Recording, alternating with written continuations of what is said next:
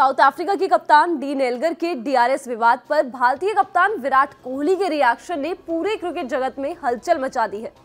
पूर्व भारतीय बल्लेबाज गौतम गंभीर विराट की इस हरकत से खासा नाराज़ नज़र आ रहे हैं। उनका कहना है कि विराट ने बहुत गलत किया। एक कप्तान को ये सब शोभा नहीं देता। उन्हें तो यहाँ तक कह दिया कि अगर विराट ऐसे ही बिहेव करते रहे तो कोई भी उभरता हुआ खिलाड़ी उन्हें अपना रोल मॉडल नहीं बनाएगा। दरअसल हुआ ये कि भारतीय ऑफ़ स्पिनर रविचंद्रन अश्विन की गेंद पर एल्गर, एलबीडब्ल्यू आउट दिए गए।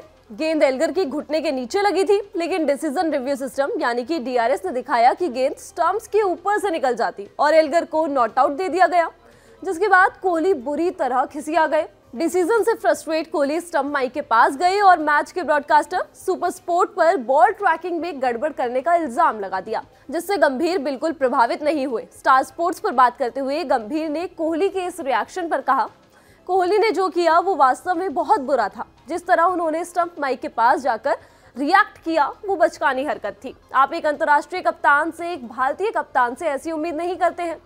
इसके बाद गंभीर ने इसी मैच में मयंक अग्रवाल और कोहली के खिलाफ हुई अपील और उस पर आए डीआरएस के कंट्रोवर्शियल फैसले का भी ज़िक्र किया। गंभीर ने सवाल उठाया कि विराट ने उस समय ऐसा रिएक्ट क्यों नहीं किया? जब उनके खिलाफ हुई एक अपील पर उन्हें नॉट आउट दिया गया, जबकि रिप्ले देखकर ऐसा ही लग रहा था कि गेंद विराट के बल्ले को छूकर गई है। गंभीर ने मयंक के डिसीज़न पर भी यही सवाल उठाया।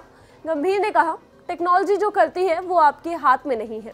फिर तो आपको उस समय भी ऐसे ही रिएक्ट करना चाहिए था। जब लेग साइड पर जाती हुई गेंद पर आपके खिलाफ विकेट कीपर के हाथों कैच आउट की अपील हुई थी, लेकिन डीन एल्गर ने इस तरह रिएक्ट नहीं किया।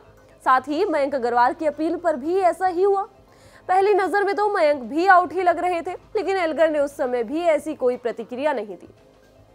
आप चाहे जो भी कहे कि विराट अपने पूरे दिल से खेलते हैं, लेकिन इस मामले पर उन्होंने बहुत बड़ा चढ़ाकर रिएक्ट किया। आप इस तरह किसी के रोल मॉडल नहीं बन सकते। कोई भी उभरता हुआ क्रिकेटर इस तरह की प्रतिक्रिया नहीं देखना चाहेगा, खासकर भारतीय कप्तान से। बता दें कि विराट कोहली के अलावा भारतीय गेंदबाज रवि अश्विन और बल्लेबाज के राहुल ने भी कुछ इसी तरह से रिएक्ट किया था। अश्विन ने भी स्टंप माइक पर जाकर सुपर स्पोर्ट को निशाना बनाया, जबकि राहुल ने स्टंप माइक पर कहा था कि 11 लोगों के खिलाफ पूरा देश खेल रहा है। इस वीडियो के लिए स्क्रिप्टिंग की है प्रवीण ने। मैं हूँ गरिमा।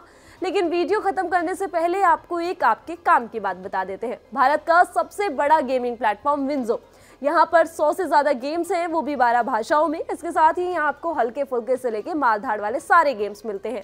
और सबसे खास बात ये है कि यहाँ आपको अपनी टीम बनाने का झंझट नहीं पालना पड़ता, क्योंकि यहाँ पे फैंटेसी वॉर नाम का फॉर्मेट है, जिसमें एक्सपर्ट्स की टीम को आप अपनी टीम बना सकते हैं। इसके साथ ही वर्ल्ड वॉर नाम का फॉर्मेट भी है, जहाँ एक गेम में दो से चार टीमें भिड़ती हैं, जो टीम जीतती है, उसको मिलते हैं कूपन्स इन कूपन्स का इस्तेमाल आप Amazon Flipkart Big Basket Hotstar पर कर सकते हैं। तो इस वीडियो में बस इतना ही। स्पोर्ट्स से जुड़ी खबरों के लिए आप देखते रहिए दी ललन टॉप और अगर अभी तक आपने हमारे नए चैनल ललन टॉप स्पोर्ट्स को सब्सक्राइब नहीं किया है तो उसको सब्सक्राइब करके जाइएगा। शुक्रिया।